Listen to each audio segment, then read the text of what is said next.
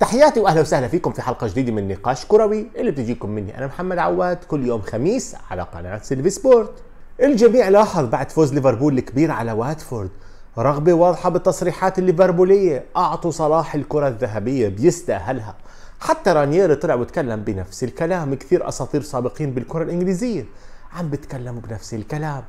في حين جماهير برشلونة مصرة ليونيل ميسي رغم رحيله عنهم وأكيد طبعا جماهير سان جيرمان عندهم نفس الرأي والإيطاليين بيقولوا شو مالكم يا عالم جورجينيو؟ جاب اليورو جورجينيو جاب دوري الأبطال أهم بطولتين موجودات هاي السنة هو اللي توج فيهم فاعطوه اللقب. وطلع من هون وهون أسماء بتترشح أسماء مختلفة. في حلقة اليوم من نقاش كرة بدي أسمع رأيكم. كيف نعرف مين جد اللي بيستاهل الكرة الذهبية؟ الوضع الحالي للكرة الذهبية وجائزة أفضل لاعب في العالم من فيفا؟ القرار عبارة عن الرأي العام. يعني اللي بالإعلام بيضغط فيه والسوشيال ميديا بتضغط فيه وبتخلق إنه حيفوز بالكرة الذهبية بيفوز بالكرة الذهبية. هذا المعتاد. وأنا مؤمن شخصيا. لولا إنه بايرن هزم برشلونة 8 2 ليفاندوفسكي ما كان حياخذ جائزة أفضل لاعب في العالم. ليش؟ لأنه هذا الفوز خلى الإعلام يرجع لورا يقول خلص أعطونا ليفاندوفسكي. فصار في ضغط لواحد مش دائما مرشح يفوز بالكرة الذهبية. واللي بياكد هذه نظرية الرأي العام والتجميع؟ مسألة رونالدو ومودريتش ب 2018 قبل المونديال الجميع بيقول الكرة الذهبية لرونالدو. بعد المونديال مودريتش ما جاب اللقب لعب نهائي.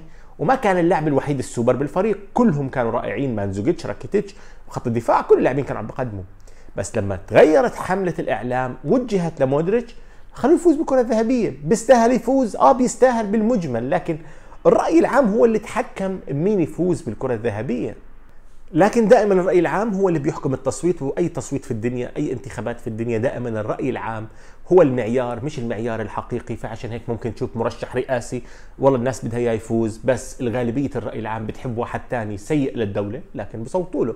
هذه هي مشكلة الديمقراطية بشكل عام إنه الأصوات مش دائما بتروح للشخص الصحيح دائما بتروح للشخص اللي قادر يبيع فكرته بشكل أفضل. هذا الوضع الحالي زي ما إحنا متفقين إنه الآن الانطباع العام بفوز. أنا قناعتي الشخصية إنه الانطباع العام عند الناس الآن ميسي بعد كوبا أمريكا. ميسي بعد كوبا أمريكا. بيحاولوا لجورجينيو لكن الإعلام الإيطالي فقد تأثير لو الإعلام الإيطالي القديم أعتقد ممكن كان حيساعد. إيه، لكن إسباني صامت لأنه ما عندوش حد يبيعه الآن. والإنجليزي دخل كثير متأخر بخصوص محمد صلاح. الآن شو في حل عشان نوصل لكرة ذهبية منطقية عادلة ما فيش فيها ظلم لحدا؟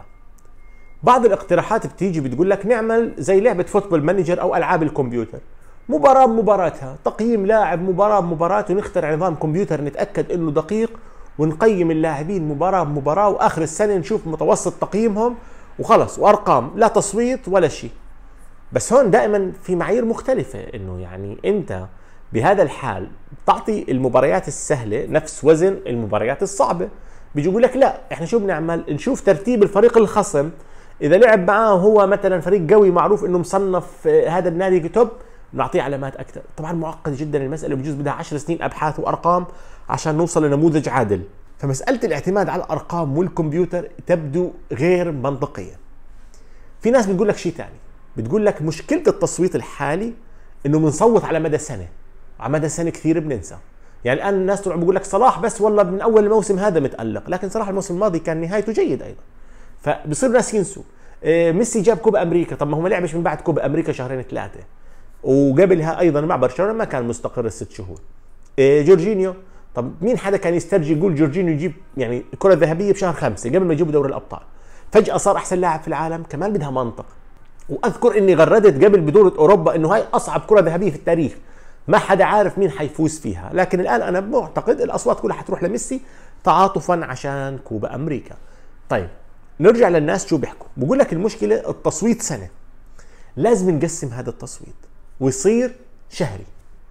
كيف يعني؟ بيخلص الشهر ندخل اللي ما لهم حق التصويت بصوتوا. بدك تطلع الجمهور من هاي اللعبة لأنه الجمهور حيخرب الدنيا لما يصير يصوت بشكل متكرر. فبندخل يصوتوا الصحفيين المدربين اللاعبين. فبصوتوا خلال شهر على مين أفضل لاعب في العالم خلال هذا الشهر. وبصيروا يجمعوا نقاط. شهر على شهر على شهر على شهر على شهر. وبالاخير بتصير واضحة جدا. عندك مجموع عبر السنة عادل متكافئ منطقي إنه شو عملت أنت خلال هالسنة؟ يعني مش تكون غايب لي أربع شهور تألقت آخر شهر أعطيك الكرة الذهبية. هذا إحدى الاقتراحات.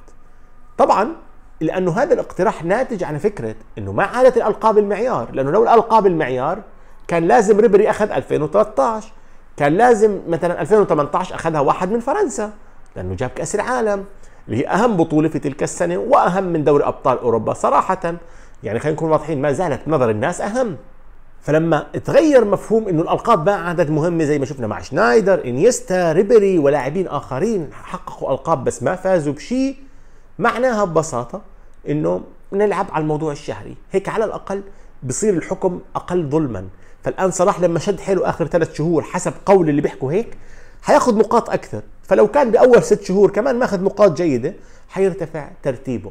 ففكرة التصويت الشهري تبدو عند البعض انها هي الحل المنطقي وأنا بميل لها عجبتني صراحة. وحلاوتها كل شهر بنصير نستنى ترتيب جديد. مين أفضل لاعب في العالم؟ أنا خلصت كلامي الآن بدي أسمع منكم. أعطوني اقتراحات أفكار وتعليق على اللي حكيته. شو برأيكم أحسن طريقة؟